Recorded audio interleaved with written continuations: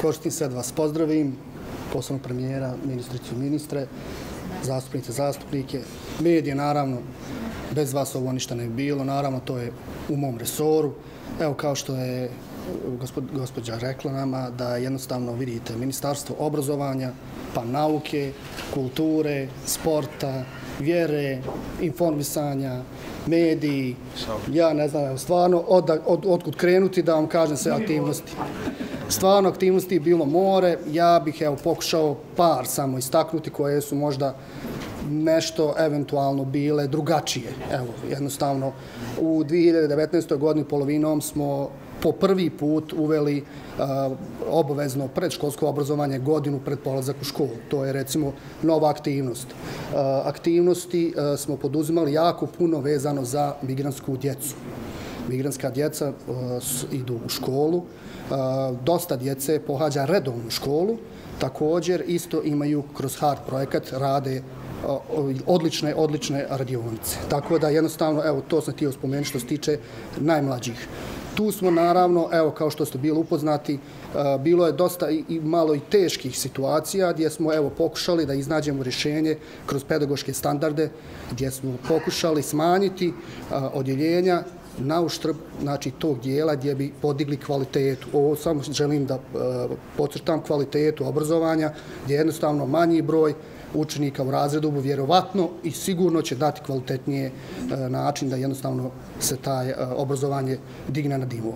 Što se tiče srednjeg također, isto kroz pedagoške standarde, oni su isto dobili manji broj odjeljenja, odnosno manji učenika u odjeljenju, što je proizvodi kvalitetu obrazovanja.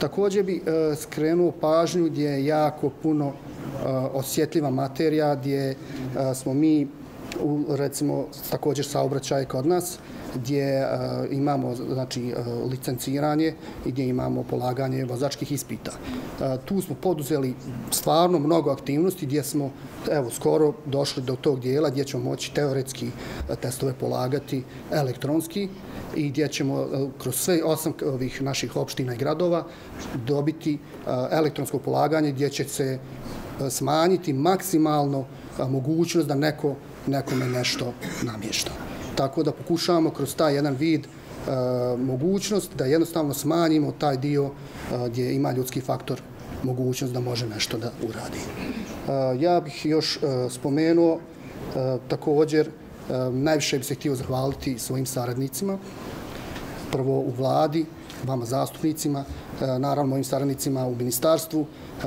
ovo nije e, da ja, momene da ja govorim da mi nemamo kapacitet, ali stvarno nemamo jer je ogroman resor gdje mi ne možemo kvalitetno i na, vremenski ne možemo odgovoriti na sve moguće zahtjeve jer je stvarno ogroman resor. Želim da im kažem da stvarno davali su izvan ljudske svoje napore da neke stvari riješimo. Evo, ja vam želim E, sretne novogodišnje praznike, sretnu novu godinu i želim da e, budemo i jači u idućoj godini. Hvala vam puno.